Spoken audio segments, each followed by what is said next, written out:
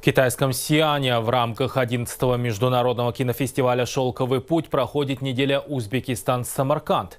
Как китайские зрители восприняли новинки узбекистанских режиссеров, выяснили мои коллеги.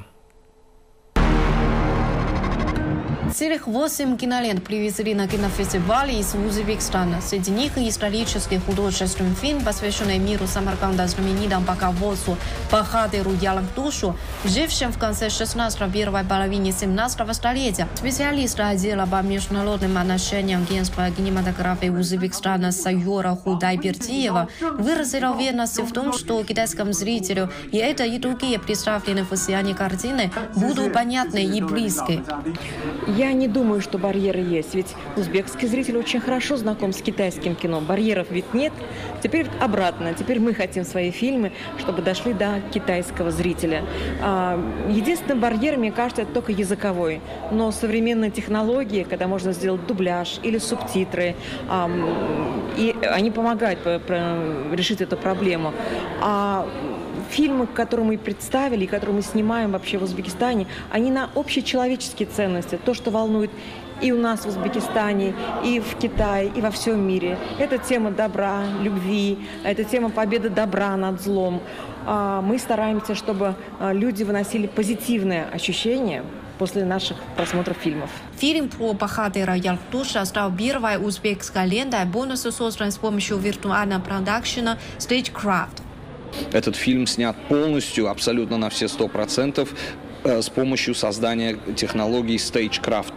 То есть это э, технология виртуальной студии 3D студия, где э, с помощью э, мониторов и компьютерной графики, с помощью э, применения технологий к кинокамерам VR, виртуальной реальности, были сняты все эпизоды этой картины. Действительно, это не малобюджетная история, но тем не менее, я бы сказал другое. Применение виртуальной студии внутри павильона позволило сэкономить на строительстве множеств других массовых декораций.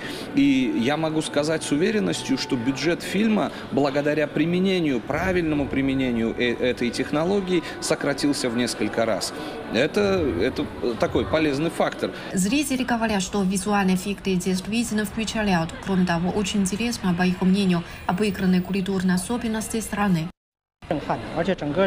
Это правда потрясающе. Качество, спецэффекты, все очень здорово. В этом году представлено довольно много фильмов, и этот я бы среди них особенно выделил. Это такое интересное сочетание древней культуры и современных технологий.